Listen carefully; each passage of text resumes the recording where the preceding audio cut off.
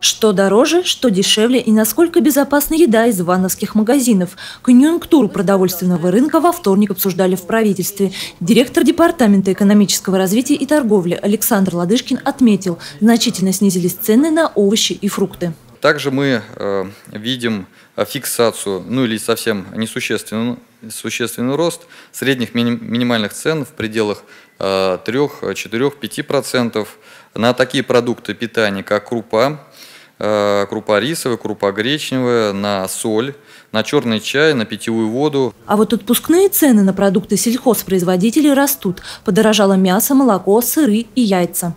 Конце весны, начале лета мы помним, что было весьма существенное снижение, а сейчас просто цены вернулись на нормальный уровень.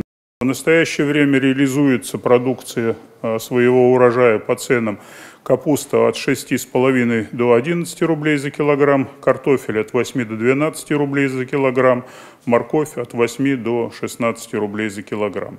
Обсудили и вопросы качества товаров. В продажу часто поступает фальсификат, вредная и опасная для здоровья пища. Например, 55% молочной продукции не соответствует стандартам. Выявляют кишечные палочки, плесень, остатки лекарственных веществ.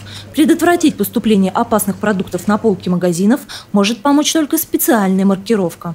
С 1 января 2017 года будет э, требоваться соответствующая маркировка на товарах. А, поэтому я даю поручение Департаменту сельского хозяйства взаимодействовать с министерством, уточнить, когда, что и в каком порядке это будет происходить, собрать наших э, товаропроизводителей и э, с ними эту работу серьезнейшим образом провести.